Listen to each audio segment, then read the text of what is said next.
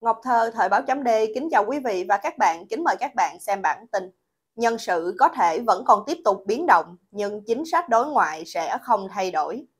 Ngày 13 tháng 3, trên một tạp chí Việt Nam của đài AFI Việt ngữ có bài phỏng vấn nhà nghiên cứu Lê Hồng Hiệp thuộc Viện Nghiên cứu Đông Nam Á Singapore về tình hình chính trị hiện nay của Việt Nam. Tiến sĩ Hiệp cho rằng những thay đổi về nhân sự lãnh đạo sẽ không ảnh hưởng nhiều đến đường lối kinh tế và ngoại giao của Hà Nội và sẽ còn những xáo trộn về nhân sự cho tới Đại hội đảng 14. Ông Hiệp cho biết tại Đại hội đảng 13, các dàn xếp lãnh đạo cao cấp của Việt Nam đã diễn ra không theo như dự tính ban đầu của Tổng bí thư Nguyễn Phú Trọng và ông Trọng đã phải ở lại thêm một nhiệm kỳ thứ ba. Bất chấp quy định và điều lệ đảng, là một người không thể nắm giữ vị trí ấy quá hai nhiệm kỳ liên tiếp. Theo ông Hiệp, một điều bất thường nữa ở Đại hội 13 là vị trí thủ tướng. Thay vì một phó thủ tướng lên, thì ông Phạm Minh Chính, trưởng ban tổ chức Trung ương Đảng đã lên nắm chức thủ tướng. Hình ảnh bài trên AFI. Vì vậy, ông Hiệp nhận định nếu như sau đại hội 13 mà không tìm được người thay ông Nguyễn Phú Trọng thì nó sẽ dẫn đến một cuộc khủng hoảng lãnh đạo có thể là rất nghiêm trọng có thể ảnh hưởng tới sự ổn định chính trị ở Việt Nam, thậm chí ảnh hưởng đến an ninh chế độ. Những biến động về nhân sự cấp cao vừa qua có thể liên quan đến những sự dàn xếp, làm sao để có được một kế hoạch chuyển giao quyền lực êm thấm, đặc biệt là ở vị trí tổng bí thư.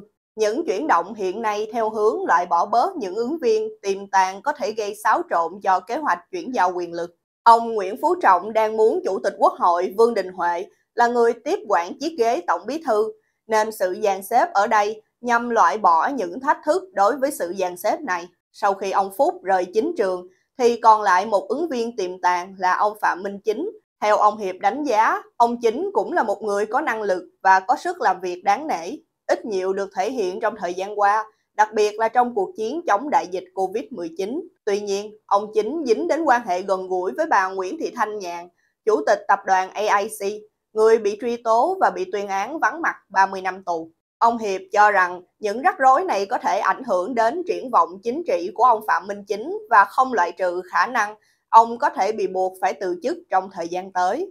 Hình ảnh năm nhà lãnh đạo cao nhất của Việt Nam sau Đại hội 13.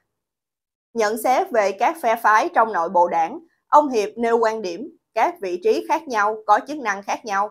Vì vậy, muốn đạt được mục tiêu phát triển kinh tế, thì bất cứ ai làm thủ tướng sẽ có xu hướng cởi mở hơn, tự do hơn về mặt kinh tế, muốn thúc đẩy đầu tư, có tư tưởng đổi mới, thân thiện với doanh nghiệp hơn. Trong khi đó, bên phía đảng, đặc biệt là Tổng bí thư, thì nhiệm vụ chính là bảo vệ vai trò của đảng và duy trì chế độ.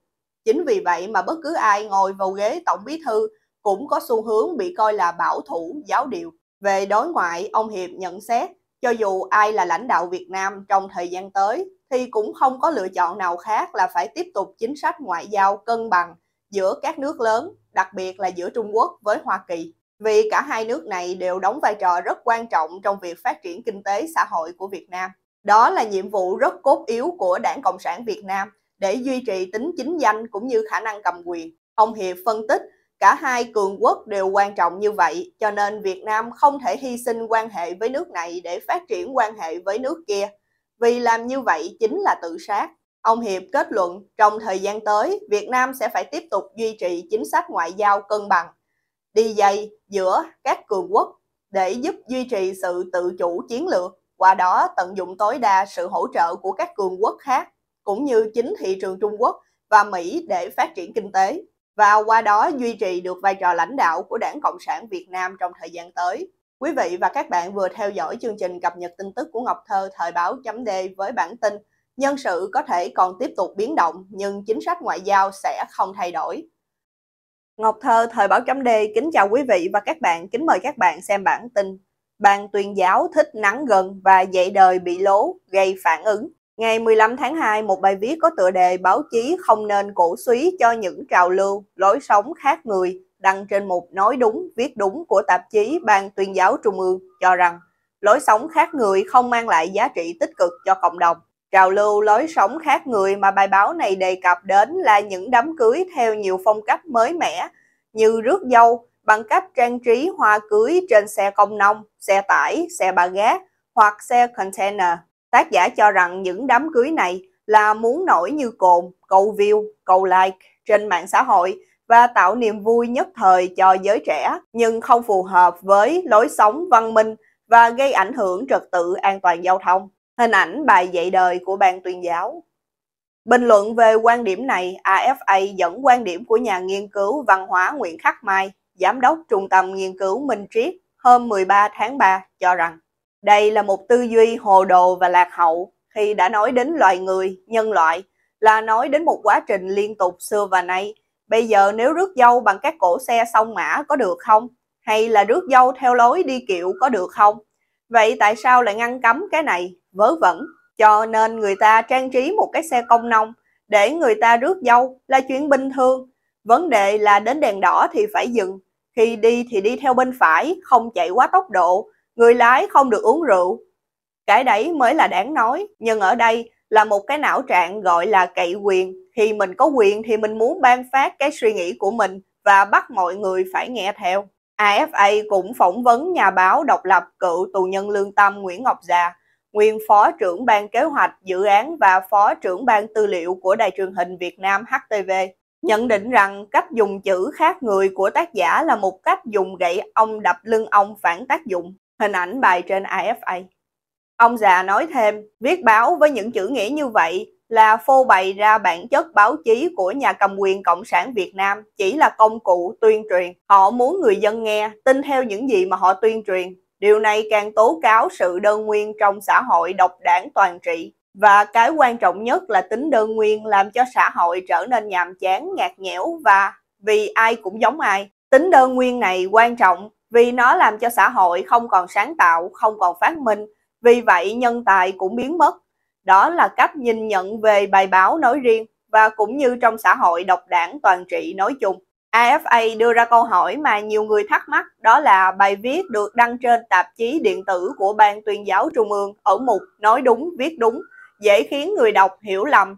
Đó cũng là cách nắng gần của Ban tuyên giáo với giới báo chí truyền thông. AFA cũng dẫn ý kiến nhiều người cho rằng nếu cần phải góp ý với báo chí thì tác giả bài viết nên lên án những tin giả gây hoang mang trong xã hội.